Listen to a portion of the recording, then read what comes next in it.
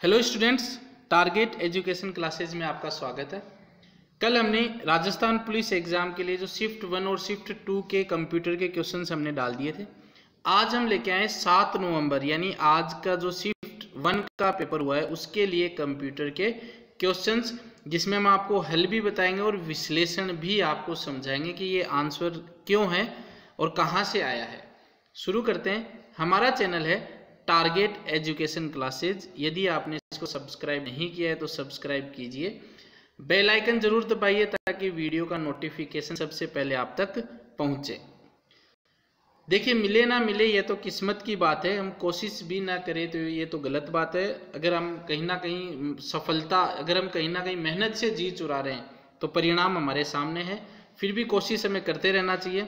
इसी के साथ पहला क्वेश्चन निम्नलिखित में से विश्व का पहला ग्राफिकल इंटरनेट ब्राउज़र कौन सा है? तो पहला जो ग्राफिकल इंटरनेट ब्राउज़र है, वो एरवीएस पहला है तो इसमें आंसर हो जाएगा बी थोड़ा इसके बारे में नॉलेज ले लेते हैं तो जो एरवीएस है, ये जो है कंप्यूटर एक्स विंडो सिस्टम है, इसको रिलीज़ किया गया था उन्नीस सौ बानवे में और was the first browser commonly available graphical ये पहला ग्राफिकल यूज़र इंटरफेस का जो है इंटरनेट ब्राउज़र है तो हमें याद रखना एयरवीएस निम्नलिखित में कौन सा विकल्प ऑपरेटिंग सिस्टम का कार्य नहीं करता है? तो ऑपरेटिंग सिस्टम के देखिए मेमोरी मैनेजमेंट मुख्य कार्य प्रोसेस मैनेजमेंट मुख्य कार्य फ़ाइल मैनेजमेंट भी मुख्य कार्य तो डेटाबेस मैनेजमेंट जो है, वो ऑपरेटिंग सिस्टम का मुख्य कार्य नहीं है तो आंसर डी हो जाएगा इसका सही।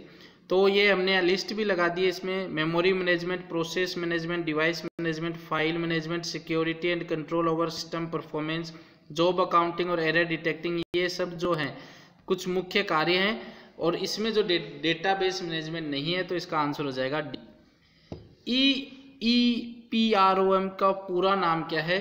तो E E P R O M का जो पूरा नाम है वो है electrically erasable programmable read only memory तो इसमें आंसर जो बी है electrically erasable programmable read only memory ये पूरा नाम होगा तो आंसर बी इसका सही होगा। अब इस क्वेश्चन में देखिए, निम्नलिखित में कौन एक कंप्यूटर ऑपरेटिंग सिस्टम नहीं है? कंप्यूटर ऑपरेटिंग सिस्टम नहीं है तो एंड्रॉयड कंप्यूटर ऑपरेटिंग सिस्टम नहीं मोबाइल का ऑपरेटिंग सिस्टम है। सिम्बियन ओएस भी कंप्यूटर ऑपरेटिंग सिस्टम नहीं है। फायरफॉक्स भी कंप्यूटर ऑपरेटिंग सिस्टम नहीं है, ये भी मोबाइल और कंप्यूटर दोनों के लिए अवेलेबल है। आईओएस भी जो है वो कंप्यूटर ऑपरेटिंग सिस्टम नहीं है। ये मोबाइल और उन सभी के लिए है तो अब इसमें कन्फ्यूज़न है कि ये एंड्रॉयड होगा या फायरफॉक्स होगा या तो इसके लिए चारों ही जो है वो कंप्यूटर ऑपरेटिंग सिस्टम नहीं है, मोबाइल के लिए अवेलेबल हैं ये। तो अब इसमें देखिए कि जो कौन सा सही होता है, इसमें कन्फ्यूज़न है, ऐसा कह सकते हैं हम। पाम ओएस किस प्रकार का ऑपरेटिंग कंप्यूटर ऑपरेटिंग सिस्टम का उदाहरण है? तो पाम ओएस जो है वो मल्टीटास्किंग ऑपरेटिंग सिस्टम है तो इसके अंदर आंसर बी आपका वो सही होगा। कैश मेमोरी नहीं कौन सी मेमोरी नहीं है? तो देखिए, कैश एक मेमोरी है, RAM random access memory ROM random और मेमोरी है। ए बच गया तो अर्थमेटिक लॉजिकल यूनिट है, ये मेमोरी नहीं है। ये लॉजिकल फ़ंक्शंस और अर्थमेटिक फ़ंक्शंस परफॉर्म करती है। तो इसमें आंसर सी हो जाएगा करेक्ट। अब देखिए, हमने एक वीडियो डाला था एम एस वर्ड के 50 इंपॉर्टेंट क्वेश्चंस उसी के अंदर ये क्वेश्चन था न्यू ब्लैंक डॉक्यूमेंट खोलने की शॉर्टकट कुंजी कंट्रोल एन जो होता है न्यू तो उसमें भी आपको बताया गया, यहाँ पे भी हम आपको बता रहे हैं control and C M O S chip का उद्देश्य क्या होता है? तो देखिए C O M S chip में एक तरीके से बैटरी होती है। इस बैटरी जो होती है आंतरिक भागों में पावर देती है। अगर ये खराब हो जाएगी तो समय और तिथि को भी आ, वो भी रीसेट हो जाएगी वो भी सही नहीं चलेगी। तो इसका जो सही आंसर होगा कंप्यूटर के सभी आंतरिक भागों को पावर देना। आंसर इसका हो जाएगा सी एम एस वर्ड में कौन सा विकल्प एक तालिका में कई सेल्स को एक तालिका में एक सेल को कई सेल्स में विभाजित करना? तो विभाजित हमें करना है हमें तोड़ना है तो स्प्लिट और किसको तोड़ना है? एक सेल को, दूसरी सेल को। तो स्प्लिट स्प्लिट सेल्स, इसका सही आंसर हो जाएगा आंसर बी।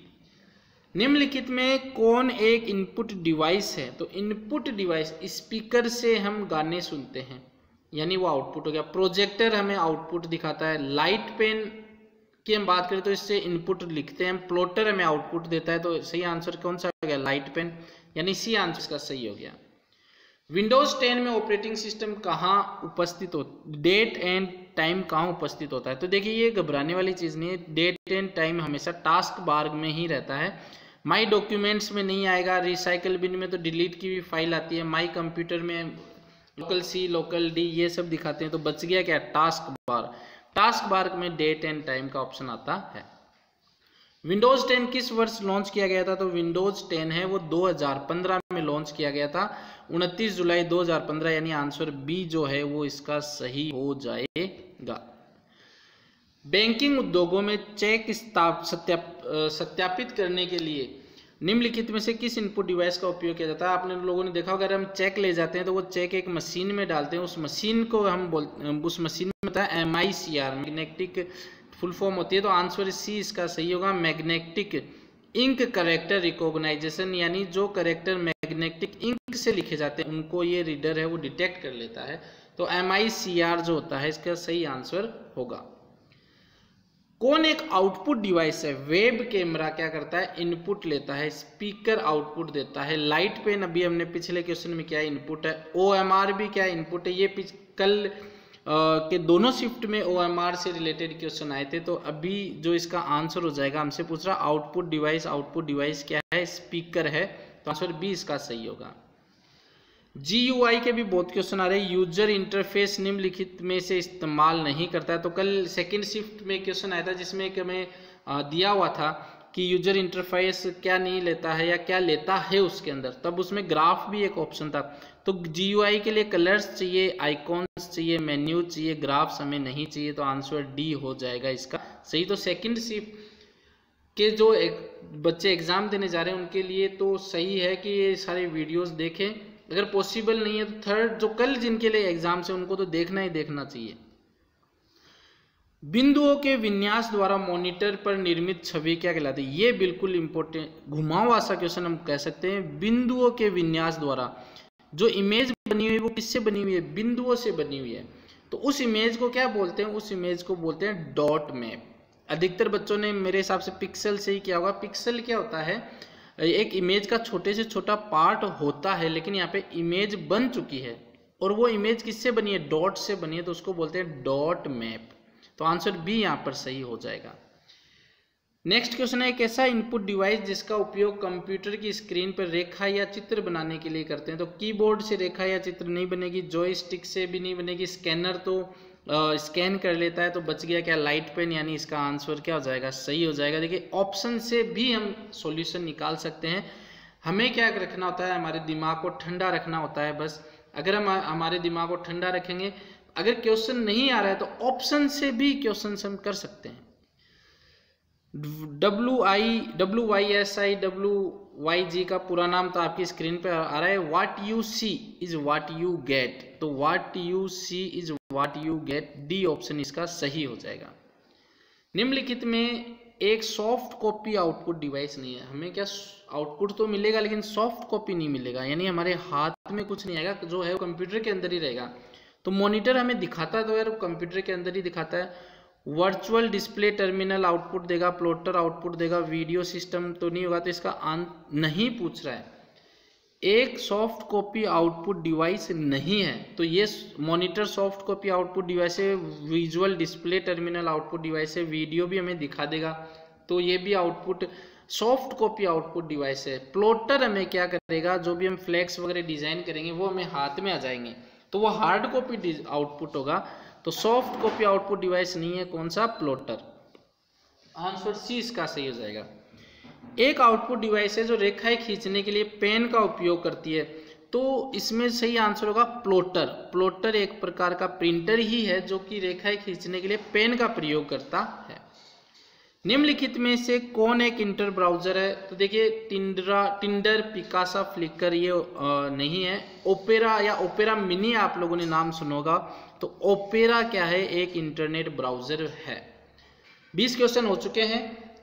इम्पैक्ट प्रिंटर नहीं होता है। हमसे पूछा है इम्पैक्ट प्रिंटर नहीं होता है तो dot matrix, drum, daisy wheel printer, ये सारे इम्पैक्ट प्रिंटर, लेजर प्रिंटर जो होता है वो इम्पैक्ट प्रिंटर नहीं होता है। इम्पैक्ट प्रिंटर क्या करते हैं? इम्पैक्ट यानी निशान छोड़ते हैं। वो टक टक की आवाज़ से उनके अंदर आती है। लेजर प्रिंटर में लेजर से प्रिंट होता है तो ये इम्पैक्ट प्रिंटर नहीं होता है। निम्नलिखित में से कौन एक सॉफ्ट कॉपी आउटपुट डिवाइस है? अब हमें, हमारे हाथ में सॉफ्ट कॉपी आनी चाहिए।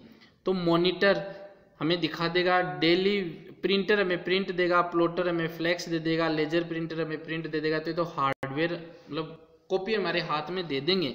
मॉनिटर जो है, वो केवल दिखाएगा। कोई गाना चल रहा है तो गाना दिखा देगा। टारगेट एजुकेशन क्लासेस जो कि हमारा चैनल है, उसका वीडियो आप अगर इस मोबाइल की स्क्रीन पे देख रहे हो तो वो दिखा देगा। तो वो सॉफ्ट आउटपुट डिवाइस है तो आंसर हो जाएगा इसका ए इंटरनेट ब्राउज़र में कोई पेज दोबारा लोड करना है। दोबारा लोड करना है तो उसके लिए हम बोलते हैं रीलोड उसको बोलते हैं रीलोड आंसर ए मॉनिटर की उर्दू लंबाई की उसकी छत्तीस लंबाई। अब देखिए छत्तीस लंबाई और उर्दू लंबाई का संबंध किससे होता है? एस्पेक्ट रेशियो से होता है। आंसर सी इसका सी होगा। कंप्यूटर ग्राफिक्स के अंदर जो हॉरिजॉन्टल यानी छत्तीस लंबाई और वर्टिकल यानी उर्दू लंबाई जो होती है, उसको बोलते हैं हम आस्पेक्ट रेशियो। जैसे कि अगर आस्पेक्ट रेशियो दो, रेशियो वन है तो इसका मतलब क्या होगा? विर्थ इसकी ट्वाइस की दो गुना है। तो इस तरीके से ये आस्पेक्ट रेशियो हमें बताएगा। पच्चीसवा प्रश्न है एम एस वर्ड में निम्नलिखित में से कौन सा विकल्प आपको एक अंक तालिका में दो या अधिक सेल को सम्मिलित करके, अब सम्मिलित करना है को क्या बोलते हैं? मर्ज करना। है तो मर्ज सेल यहाँ पर सही आंसर हो जाएगा। आंसर डी ऑनलाइन स्रोतों से डेटा या फ़ाइल को स्थानांतरित, कंप्यूटर पर स्थानांतरित करना है।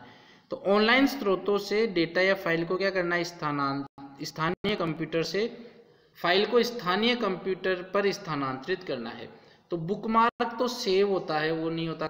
ड्रॉप बॉक्स एक टेक्निक है जिसके थ्रू हम क्या करते हैं फ़ाइल को भेज सकते हैं। डाउनलोड से डाउनलोड होता है कास्टिंग का ऑप्शन आता है जिससे हम भेजते हैं। तो आंसर हो जाएगा बी फ़ाइल बनाना ऑपरेटिंग सिस्टम के प्रबंधन कार्य। अब देखो फ़ाइल कौन बनाएगा? मेमोरी में तो मेमोरी होगी प्रोसेस प्रोसेस करेगा सिक्योरिटी सिक्योरिटी करेगा तो फ़ाइल बनाएगा कौन? फ़ाइल बनाएगा तो आंसर सी इसका सही हो जाएगा। अट्ठाईसवा प्रश्न है एम एस वर्ड में पेज की विषय सामग्री के पृष्ठ भूमि में घोस्ट टेक्स्ट। घोस्ट टेक्स्ट सम्मिलित करने के लिए में वाटर मार्क का उपयोग किया जाता है तो आंसर सी हो जाएगा। उनतीसवा प्रश्न, ये थोड़ा रीजनिंग टाइप है, आपस में किसी ना किसी प्रकार से अलग है तो ए ई यू ये तो हो गए क्या जो हम बोलते हैं, स्वर जिनको बोलते हैं, वो गए पी बच गया तो ये डी यहाँ पर सही आंसर हो जाएगा। तो ये आज के उनतीस जो हमें प्रश्न मिले हैं, अगर कोई प्रश्न रह भी गया तो हम डिस्क्रिप्शन में डाल देंगे। वीडियो आपको कैसा लगा, ये हमें बताइएगा और शेयर कीजिएगा ताकि जिनका एग्ज़ाम अभी नहीं हुआ है, वो ज़्यादा से ज़्यादा इस वीडियो को देखे और फ़ायदा उठाए एग्ज़ाम्स में क्वेश्चंस जो हैं वो रिपीट हो रहे हैं। इसी के साथ बहुत बहुत धन्यवाद। All the best for future exam